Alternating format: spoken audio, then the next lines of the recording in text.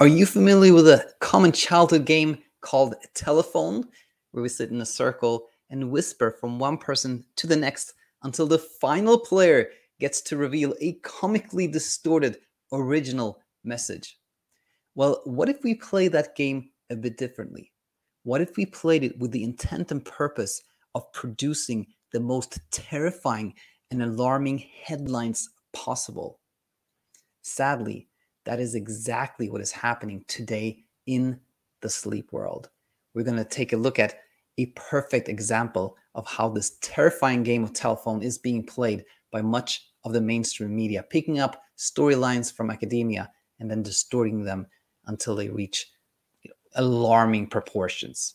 We're going to look at uh, uh, an email from from Oliver in today's episode of Heard Online. If you're new to the channel, Heard Online is where we take a critical look at things we hear on the World Wide Web and see if those claims are true or not.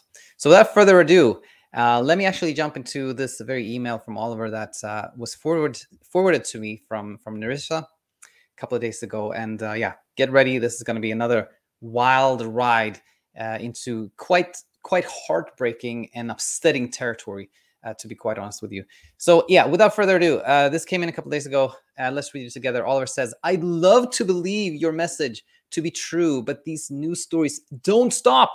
I listened to Martin Reed as well as you guys. You're great for putting us with chronic insomnia at ease over our health due to the limited sleep we get, not due to lack of effort. We would love to sleep more, but it doesn't seem to happen. Why are we bombarded with these news stories about how lack of sleep is critical to our health? Are they influenced by lobbyists in the sleep industry so more products can be sold? Are they speaking the truth? And we are wishfully thinking that our four or five hours a night isn't going to put us in an early grave. Anyway, thanks for the community and the positive messaging you put out there. Thought you'd like to be aware of yet another negative sleep article.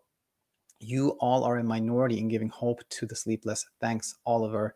And here is the uh, the um, the link to the article he messaged he mentioned so first of all thank you oliver uh, for the support and for giving us the chance to to take a look at uh, at this so what we're going to do is actually start with the the article from you know the, the scientific article and then we're going to jump into the article um, uh, Oliver uh, mentioned because it makes so much more sense when you when we see kind of this game of telephone being played. So we're going to look at the original message first, uh, the original message that came from a, uh, a research uh, a research study. So we, will take a brief look at this, and then I have the breakdown, you know, prepared already. So this is uh, this was published in July of this year in NPJ Digital Medicine. Never heard of this. Uh, never heard of this. Uh, um, this uh, this journal, uh, which may tell you a little bit about the quality of the study. Uh, now, the um, headline is Age Estimation from Sleep Studies Using Deep Learning Predicts Life Expectancy. And this, in fact, features M- Emmanuel Mignot, which is a very, very well known person in the sleep. Um, in the, and Susan Redline is here too. Very well known people in the sleep universe. And I was quite surprised that they were willing to put their names on this, to be quite honest with you. So, um, without going, to, we're going to look at one. Um, one graph from this, but basically this is the rundown. So they they took like um they, they pooled polysomnographic data, which is basically when you sleep with like all these wires and electrodes on you, like they check, you know, your your breathing, your EEG pattern, your you know how, you you know um, your uh, muscle tone and things of that nature. And um, th- so they took, you know, they used like machine learning or like you know artificial intelligence to analyze 2,500 of these polysomnographic studies in people that were on average about you know uh, the average age was I think 66 years uh, old or so, and and this was again this was multiple studies like five or six big studies that they had kind of pulled together. And the instruction to the like machine here was like try to predict the age of this person based on like the information you have, and when the machines did this, they were like somewhat successful, right? They're they, they, they, were fairly accurate within a 10 year like you know or actually like a se- several year you know um, uh, uh, range so if somebody was let's say 62 the, the machine would guess somewhere between like, you know, 52 and 72, something like that. So it's, you know, somewhat correlated. They were somewhat successful. Now, he, here's the thing though, like if we think about this, like what would we expect to see? Well, elderly, you know, elderly people do have more health issues. And unsurprisingly, this is reflected in how we sleep, how our sleep looks. And like the the the one of the main determinants, like the main factors that enable these machines to guess how old a person was, was what's called a sleep disruption or sleep fragmentation, which is basically how often we have these like little brief wake ups that we don't even remember.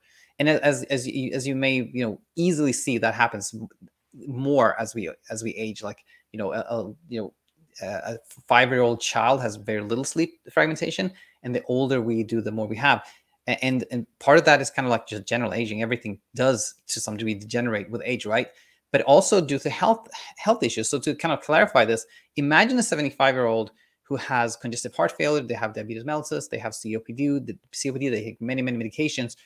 Will they have more or less consolidated you know straight sleep than a person of similar age with no health issues at all right? It's it doesn't take uh, you know a, a rocket scientist to see that of course the person with more health issues will have more fragmented sleep you know uh, and that's kind of the, the, first thing that really popped out uh, uh to me like when i saw this like oh yeah that's there's no surprise there whatsoever but basically what this boils down to is uh, you know there's a lot of things you could you know that there's a lot of data here but it kind of boils down to like this graph here where uh, the researchers say that okay we if, if you look at these two curves, this on this axis we have a follow-up years. So let's say most, you know, the average age of someone in, that was uh, part of any of these studies was 66. So the follow-up mean the follow-up was uh, 18 years was the most. So here somebody was let's say 66, and here they were like you know 70 um, or was this 84? Yeah, 84, right? So what is their survival rate where one is 100% and and this becomes 60%, right? So here in, in blue, we have minus 10 AEE, which means that the machine had estimated that they were actually a 10 years younger, you know, so the so they were actually, let's say 76, but based on kind of the machine looking at their age, they thought they were 66, okay? And the red, we have the opposite, where somebody was actually, let's say, uh, 66, but the machine, based on their sleep, said, "I think you, you know, I think this person is 76." So this is what they called sleep age. Uh, in in the other article we'll look at. So if you have a higher sleep age, you know, they say that you were, uh, you know, your mortality risk was higher, and this is what they say is reflected here. That you know there was uh, uh, at 16 years, uh, you know, after the studies, the, the, the, you know, they, be, they began looking at this, the, the survival rate here was 65%, and here was like, you know, 78% or something like that. And, and now, you know, when you look at this without knowing anything further, it can be like, oh, whoa, this this looks really scary and whatnot. But in reality, uh, there's, in my opinion, absolutely nothing surprising whatsoever here. The thing is, as we just talked about, if you have a lot of health issues, of course you will have more fragmented sleep. Of course your sleep will look quote unquote older. But not only that, what we just looked at is actually just a model. It's just like data put into a machine that is asked to like predict. Can you predict mortality based on these things? And anyone who's worked with the models knows that there's so many things you can like. There's one little one little input here can change the entire model. So you never know to what degree they finessed and tweaked and massaged these models. You know, you know, I'm not, I don't know anything for more than I just share with you. So I'm not like accusing anybody of like foul play or anything.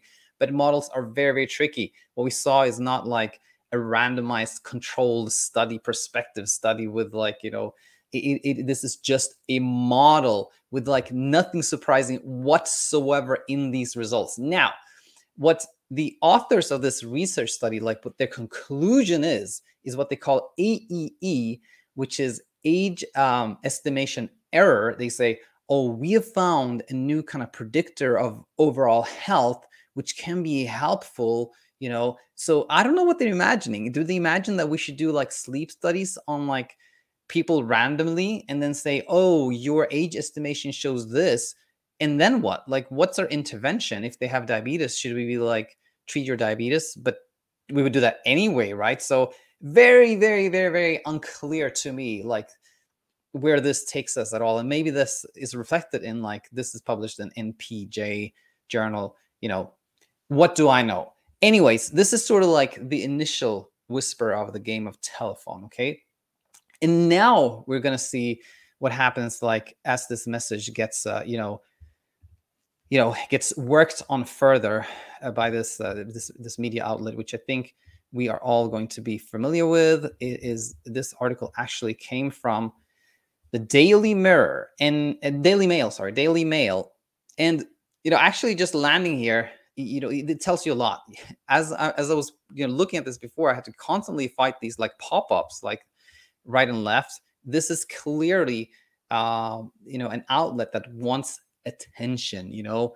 Well, you know things are just kind of like popping up right and left. So anyway let's read the uh, let's read the headline here reducing the amount of disruptions to your sleep and making sure you're well rested each night can lower your sleep age and extend your life up to 8.7 years study finds well first of all the trigger meter this is kind of I, I, I, you can barely go higher. I say this out of 0.5, this is like a 4.5. This is a really very, very triggering article.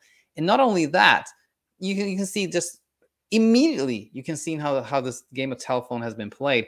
There's nothing in the study that's saying that if you like make sure you sleep more, that you can extend your life up seven years. The study didn't say that whatsoever. That is completely inaccurate.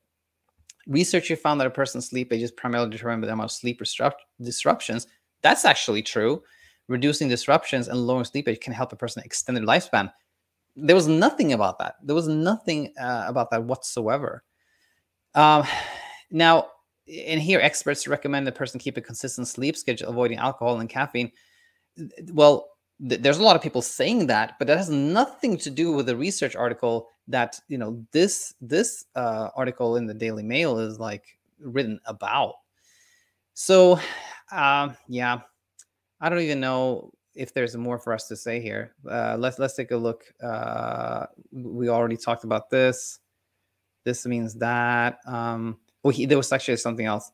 Many people were were either 10 years older or younger in the sleep age when compared to real age, although indicated that there were uh, all, though indicating that there were significant differences. Uh, what I wanted to say here was actually uh, you know they they point out somewhere that there's most people don't even know most most people don't even know how many disruptions they have which you know just creates more confusion when they when they talk about that experts are not yet exactly sure why these sleep disruptions play such a large role in overall health though and this is kind of this misleading things like they didn't say that that they didn't say that these sleep disruptions cause any issues but the way it's written here in the daily mail suggests that the researchers thought so um, and yeah, it will just we'll just call it a day there. Uh, Oliver, uh, you know, I hope I hope that I hope it's helpful to you to know to know what we just talked about. And uh, yeah, again, it, eh, it, eh, I say this so often, but it, often I find like okay, now we found we found we found the most upsetting, or you know, the, the most upsetting thing ever. But they keeps being like new things that are even more upsetting. And this one was like you know, the only to me, going back to what Oliver said in his email, to me, the only reason you write an article like this is because you know that this is going to be really, really triggering. And headline like this one is going to be really, really triggering. And to me, there is an obvious like lack of interest in in, in conveying what you know what was in the actual original article, which in itself was I think that in itself, the original article also portrays things in a way that is not very helpful at all. Instead of saying like, yeah, this is of course expected. Like, who would think any we would find anything else? It is kind of like insinuated that there's something new here. Blah blah blah blah blah. Well, I will end uh, today's Heard Online here, and as always, uh, let me know in the comments what you thought, and uh, yeah, we'll end there. Uh, hope to see you back here soon. And hopefully soon we'll have a more uplifting Online episode, which is always nice. But anyways, hope you have a beautiful day and this was helpful to you. Bye for now.